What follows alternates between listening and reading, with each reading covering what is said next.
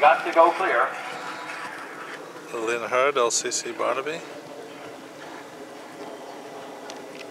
Second place rider only two seconds worth of time penalties behind. And Philip now to the steeplechase turn.